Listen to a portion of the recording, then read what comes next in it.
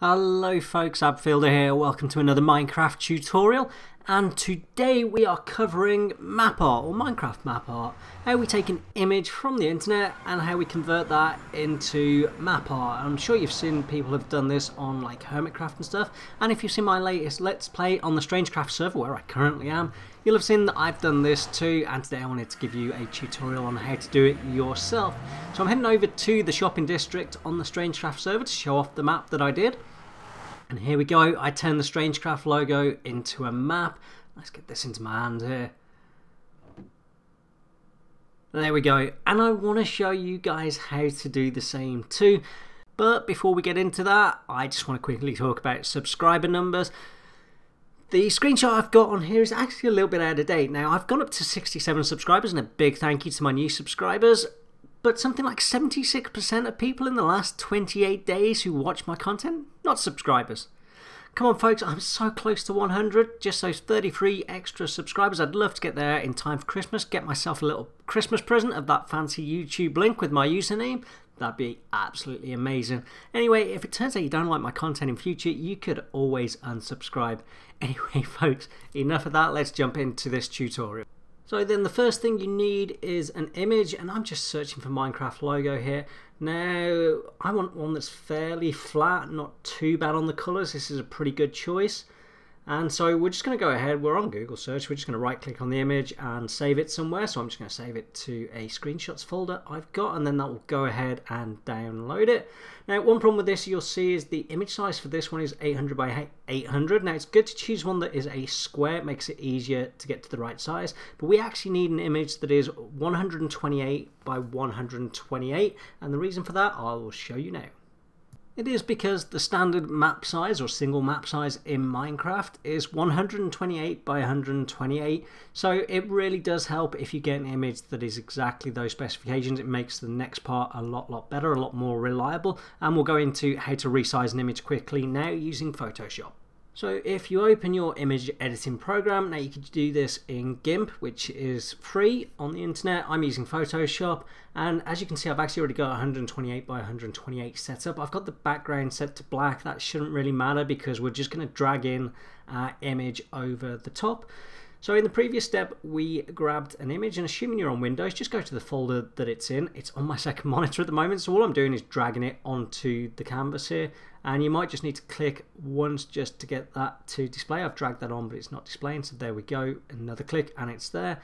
It should automatically adjust it, and like I say, as long as you've got a square size that's bigger than 128 uh, to begin with, then you are all good go ahead save that document. So I'm just saving it as a PSD for now just in case I want to edit it at a later stage. I have done in the past is a little bit of editing to make my image a little bit cleaner but I don't think I need to do it with this one. We then want to do a quick export as PNG so we now have our 128 by 128 PNG so what we want to do now is generate ourselves an NBT file and we are on this website rebane2001.com forward slash mapartcraft forward slash. I will put the link down in the description. So go ahead and click on the map preview there and select the image that you created in the previous step. In the block selection, just go ahead and tick everything. Depending on your image, you might get away with carpets, but go for everything to begin with, and then it will generate you a material list. It's absolutely fantastic. You can leave everything else as you want. Leave staircasing on, you'll get a much better image. The only time you want to turn that off is if it uh, is a really flat image. The one thing you'll see on the right hand side is it's worth having a look at the blocks it, it has selected. Now this image is not too bad, it's got just 9 diamond blocks. If you are in survival, my last image had 5,000 diamond blocks, not great. So in some of these you have a choice. So you could change diamond blocks here, as you can see, to prismarine blocks. Hit that refresh materials at the top and instead of diamond blocks you've got the much more obtainable prismarine blocks there. So just keep that in mind have a look at the blocks see what you can generate. And you'll also have a preview there of what that map's actually going to look like. It's not going to be as clean as the image you got from Google but it's going to be pretty damn close. Like I say everything else have a play with it but I would generally just leave it as the as the default leave staircase on leave dithering at the Floyd Steinberg uh, algorithm. Everything else leave as is then the very last thing you are going to need to do on this, and just because I've changed that, I just want to change that back to Prismarine. Last thing you need to do is hit download. Well, refresh first, then download. And there you go, it's downloading the NBT file we need for the next step. So let's talk about what we do with that NBT file. Okay, so I am in my Minecraft folder and that's in app data roaming.minecraft and then I'm in this folder that's called schematic. Now, I have installed Fabric and then I also have a mod called Litematica. Now, I highly recommend that you use these tools and how I do this tutorial will be using these tools. If you need to know how to install Litematica, just go ahead, search for it on YouTube. It's very easy to do. You'll need the Fabric. I don't think you need Fabric API, but you know, the, the guides are there on the, on the internet. Just go and find them. Once you've got them, you'll have this schematic folder go ahead in there. All I've done is create a folder. Now you could put it at the top level, but I've gone ahead and created a map art folder. I'm just going to paste that NBT file that we created previously into this folder. It just keeps it a little bit cleaner. As you can see, it's a little bit disorganized. Now the one difference you might notice is most of these files are schematics and this is an NBT. That's cool. I will show you how to convert it into a schematic in the later stages of this build. You don't necessarily need to do it. It just makes things a little bit better. Okay, first off I'm going to show you how to do this in a creative world and I've just right clicked with the map there and as you can see I am in the middle, pretty much the middle of the map. I've got the chunk borders shown to do that in your world F3 plus the G key and we're going to head to the northwest corner of this map. As you can see I've got a red box in pretty much the place and we actually want to stand one block out of this map to the north. Only to the north. We still want to be inbounds on the west and as you can see I'm outside of that chunk. I'm just going to demonstrate that now. You can see by the blue line. So I'm in line with it west east but I'm one block out to the north facing south. Hit the M key to open up the the Litematica kind of menu and then we're going to go ahead and load the schematic. Now you will have only one file in here and that's the green one which is the NBT file. I've just been messing with the the schematic and you'll see a warning. Don't worry too much about that. That's mainly moaning about the fact that we've got it in the NBT format. I am going to show you how to create a schematic so that you can get rid of that error. It's not a problem in your creative world. So if you load that schematic and if you stood it in the exact right place, what you will now have is the, the schematic loaded in the correct orientation in the exact correct place for that map. There is a line of blocks that will not be represented on the map, they just help with the with like the colouring on the map. Now if you hold control and go to paste schematic in world on the bottom left, so that was number 5, as you can see that at the moment there's nothing in that map. I'm just going to get rid of the chunk borders. And I'm going to go back to my stick control. Now I have actually done a video on Litematica and how to do this copy and paste, so I recommend checking that video out if you're struggling to keep up. Anyway, if you hit Shift and X, assuming you've set it up like I do in my tutorial video, that will paste the schematic into the world. And as you can see, it is now a valid map. Looks awesome, doesn't it?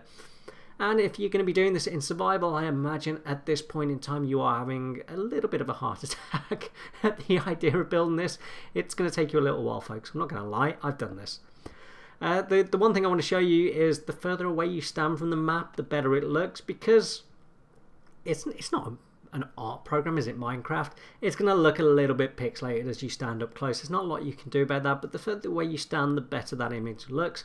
But it looks really cool, you know, up up close as well. And that, folks, is really how you do it. That's how you do it in creative anyway. Lovely and simple with Litematica and the uh, the ability to paste. As I said, I've done a tutorial on copy and paste in Litematica. Just have a look at my ch channel, check it out. I will put it in the description down below. So now I'm going to quickly show you how we turn this into a schematic. So we are going to need the stick control again and I have made a little mistake here because I have not changed the, the selection type. I'm going to go ahead and unload my schematic. I'm going to do the mouse wheel and control button and change it to the area selection. I'm going to left click on that block there and then I'm just going to go into the area selection go down one so that I will include those stone blocks. I'm then going to go to the top right hand corner. Now remember we left clicked down the bottom. We are going to right click on the, the most eastern block here. This one down here. It's the furthest out to the opposite corner. So that's got a broad selection of all the blocks selected. As you can see, it's not quite got all of them. We've got three or four rows on this map that go well above it. So if we go back into the area editor, which is M edit, area editor, and then just up the height on the Y axis like so and then just double check you now got that box surrounding all of the blocks on this map. So we've got these blocks, but have we got the one over here? No, we have not. As you can see, it is one block above, so we'll extend it by one more. And as you know, we already lowered the bottom one at down that bottom right hand corner so that we got that. So all we now need to do is save our selection. So we hit the M key again, we go to the area editor, we save schematic, we give it, you can't overwrite an existing one, so I'm just going to call it V2. I save that schematic and we now have a schematic file. And when we load it in our survival world or load it again in our uh, creative world, it is not going to moan. And folks, that is how you do it all in creative. Now, I am going to give you some tips on how to build this in survival because it is a little bit of a slog. Okay then folks, I'm going to assume you're building this in survival and I'm going to show you some tips for Litematica that just, I'm going to call them quality of life tips that make things just that little bit easier. So we're going to go ahead, find the northwest corner and we'll go out one block to the north, extra, outside that chunk as we did before. We will load the schematic that we created earlier and there we have it. And as you can see, it's a nice complex mess and yeah, you're probably a little bit, oh, how am I going to build that? So if we hit the M key and go into configuration menu and then go to the render layers, change that layers all to a layer range, set your max and min layers, and then just put a tick in that hotkey, the top one only, and then if you use the page up and page down buttons, you, as you can see, you can sort of choose which layers you want to build. It's really, really useful, makes building a lot easier. It's not too bad for this because there's no blocks underneath, but it's still useful. Right, another one is the hotkeys. So if we go in back into the menu and uh, the configuration options and into the hotkeys, and we're looking for the Open GUI Schematic Verifier. That is not set by default. I have set that to the M plus V key, and I highly recommend that you do that and that just gets you into the verification. You can get there from the schematic placements configure and if you do the start verification or you change the range, the range render layers and then the start verification, it will tell you what blocks are missing from that layer. If you left that at all, it will tell you what blocks are missing from the whole schematic. If I just do that now, so there we have it thousands of blocks. So I recommend you change that to the, the layers that you've got rendered. And that just helps you because it, it means you know which blocks you need in your inventory to do a particular layer. And then if you go ahead and place in some of the blocks, you'll see that it starts to go down the number of blocks that were missing in that verification menu. So I'll place some blocks. As you can see, it kind of highlights it in this pink color if you place one incorrectly. It will highlight it, I believe, in orange if you placed it in the right place but the wrong orientation. So like wood blocks, for example. So we have 82 stone blocks missing on this floor. If I go in and place a couple more, there we go, and hit the M plus V key that I've set, do the start verification. Now you don't need to do that every time, but as you can see it is now down to 80.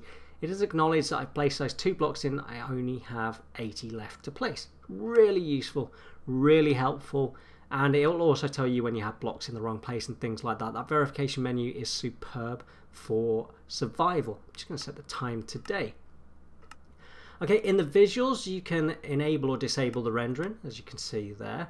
But the one thing I wanted to show you here was essentially setting the, the translucent, the kind of that there you go if I hit toggle between them you can see them set that to true now the reason I recommend this is because if you don't there's a very good chance as you're building this you're going to keep falling through the blocks because they're not actually there it's particularly bad if the block is a little bit of a bluish color because you can't see that it has been placed in the visuals if I can find it you can ghost block alpha it and if I slide this you can see it makes it more or less translucent so highly recommend you do that as well those, folks, are my quality of life settings for building this thing up. The last thing I will very quickly talk about is there is another mod called Tweak Tweakaroo. Have a look at it. And the reason I recommended it is because this is staircasing, you have to place a lot of temporary blocks in to, to do those staircase. And if you've got Tweakaroo, even in survival, you don't need to place in the temporary block. You can hold the control key and place it exactly where you want. It saves a load of time. Anyway, folks, that's it for this tutorial. I hope you've enjoyed it. I hope you you can do your own map art now.